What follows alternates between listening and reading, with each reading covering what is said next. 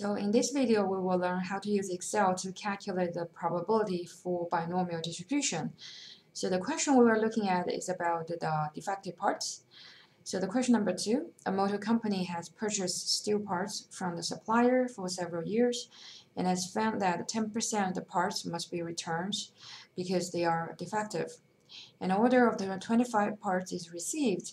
So by reading this uh, first paragraph, and you actually can find the value for two parameters in binomial distribution. So the first one is our 10%. So in the binomial distribution, we need the probability for success.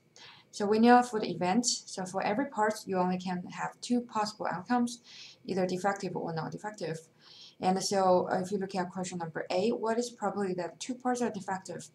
So consider defective or non-defective, we more care about the defective.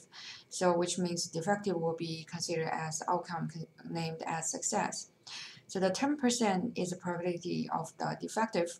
So the 10% will be the probability for success. And uh, in the formula, we're using P to denote the probability of success. So P will equal to 0.1, 10%. And we have another parameter, which is the number of identical trials.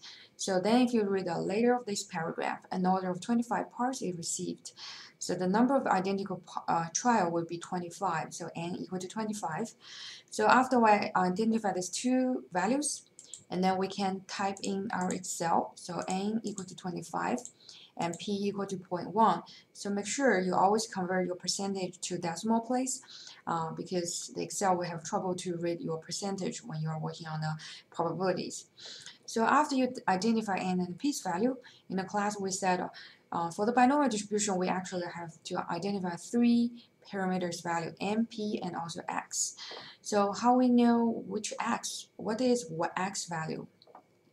So now we go back to look at the questions. So question A, what is the probability that two parts are defective? So the x is the number of the success, so which means uh, the number of the parts going to be failed we are, look, we are looking for. In this case, will equal to x equal to 10, uh, equal to 2. Equal to 2, so that is what we're looking for. So this is question number A we are looking for probably x equal to 2.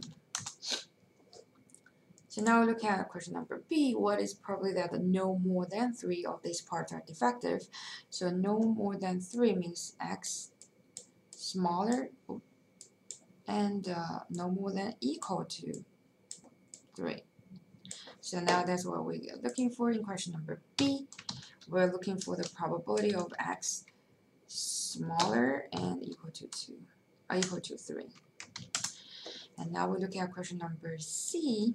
What is probably that less than 3 of these parts are defective? So x smaller than 3, right? So now we go back to the Excel. So this is what we're going to looking for in question number C. We're looking for probability of x smaller than 3. And now the next, what is probably that at least 3 of these parts? So at least means x will larger. And don't forget it's at least equal to 3 of these parts. So larger than equal to 3 and so this question number D we're looking for.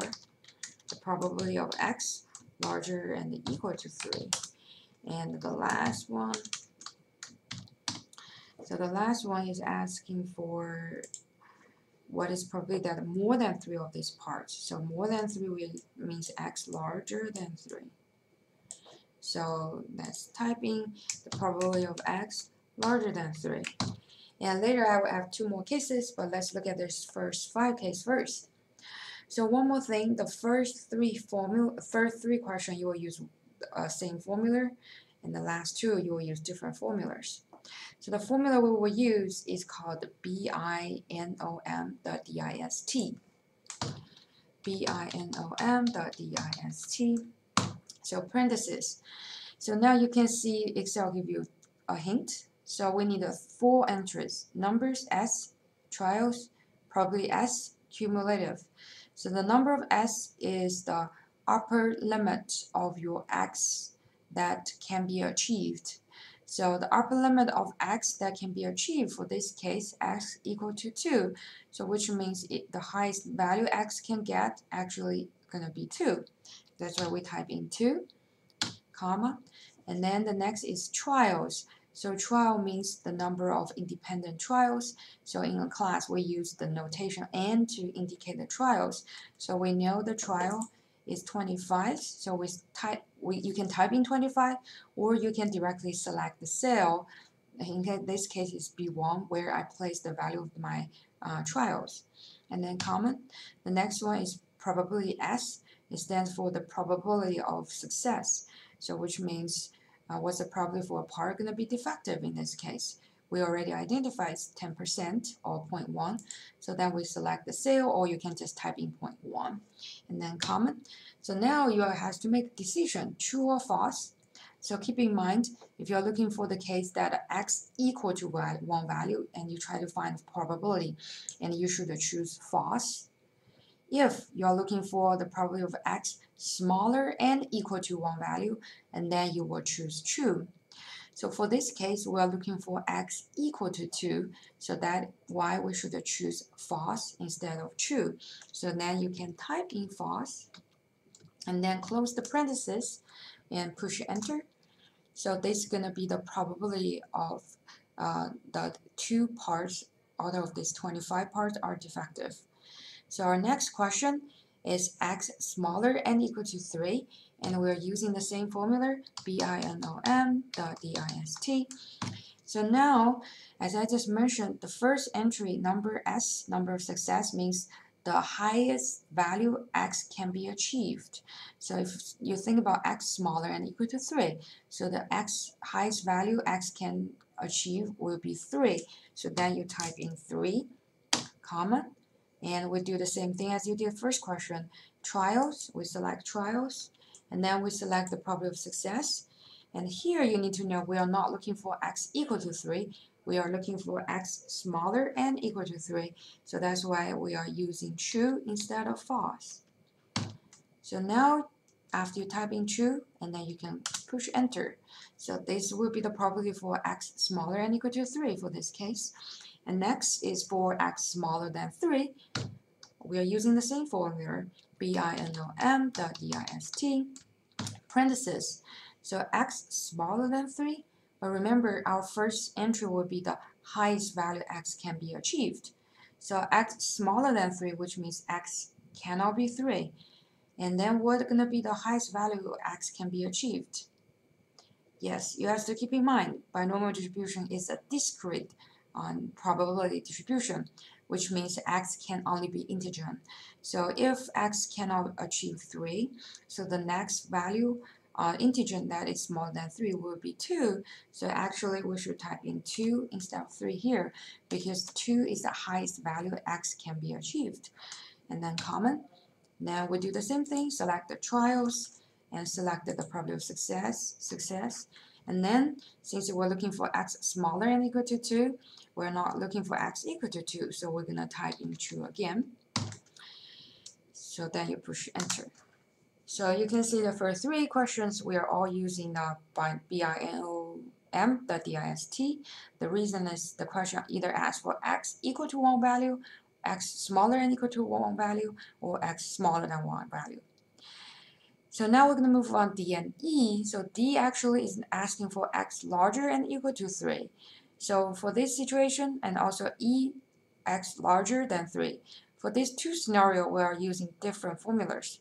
And so when you are seeing x larger, one larger than one value or x larger and equal to equal x larger and equal larger and equal to one value. And we should using the following formula. And then the initial will be very similar, B-I-N-O-M, dot the D-I-S-T. And then you need to type one more I, um, one more word that is the range. So we have range and parentheses. So first, you also need the four uh, entries, but the first entry will be the number of trials. So we know it is 25, comma. And the second entry is the probability of success. We also know it, 10%, 0.1, comma. So the number s and the number s2 is the lowest value x can be achieved and the highest value x can be achieved. So in this case, x larger than equal to 3. So the smallest value x can be achieved will be 3, right? And how about the highest value? So keep in mind we're only testing 25 parts, so which means the highest value you can get for x is all 25 parts going to be defective. So that's why the highest value x can achieve, although x larger than equal to 3. But x also has to be smaller and equal to 25. So then you type in 25, close the parenthesis, and you push enter. So this will give you the probability for x larger than equal to 3. So next question. And again, we're looking for x larger than 3, so you should know you should use binom the dist dot range. binom dot dist dot range. Parentheses. Uh, very similar uh, uh, step uh, selection as question number D. You select number trials, and you select the probability of success, and then the lower limit, a little bit challenging. So x larger than 3, which means x cannot equal to 3. So then what is the smallest value x can be achieved? Yes, you're right. It's going to be 4 because, again, x has to be integer. So the next highest value, the integer higher than 3 will be 4, and 4 can be achieved. So that's why the lower boundary will be 4. And how about lar high, large, uh, high, uh, highest boundary, upper boundary? Again, x cannot be larger than 25, so the 25 will be your upper boundary. And then you close the parentheses and push enter. So then this will be the probability for x larger than 3. So now let me add two more examples. F. So how about we are looking for the probability of x larger, uh, larger and equal to 2, but smaller and equal to 5. So if that's the case, and we are using the same format we use in question number E, we type in binom, the dist, the range, parentheses, and now we select trials, and we select probability of success, and the next one, the number of s, which is lower limit of x can be achieved. So x larger than equal to 2. So 2 will be the lowest value and then x has to smaller than equal to 5. So 5 will be the highest value x can be achieved. And close the parentheses, push enter. So this will be the probability for x larger than equal to 2 and smaller equal to 5. And next one, so we are looking for the probability of 2 smaller than x, smaller than 5. So if this is the case, we're still using the same formula, binom dot dist dot range. And the same, select trial, select probability. So what is my lowest value? So x larger than 2, which means x cannot equal to 2. So the next highest value than 2 integer will be 3. So that is the smallest value x can be achieved, which is 3. So how about the highest value? So x cannot achieve 5, but the uh, the next integer smaller than 5 will be 4. So actually this probability will be lowest value is 3. Highest value x can be achieved will be 4. And then you close the parenthesis and push enter. So this will be the probability for uh, the x larger than 2 and smaller than 5. And keep in mind, and all the question will require the decimal place. And uh, so read the question carefully. So if first, if they require four decimal places, and click Home tab, and on the number section, you will see increasing decimal or decreasing decimal. So you can you can decreasing decimal to four, so that you will get the rounding number right. So instead of manually rounding the number, and so this is the end of this video. And uh, good luck in your homework.